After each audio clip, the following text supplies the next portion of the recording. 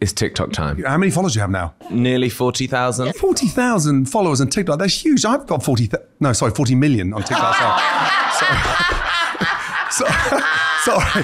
sorry. sorry.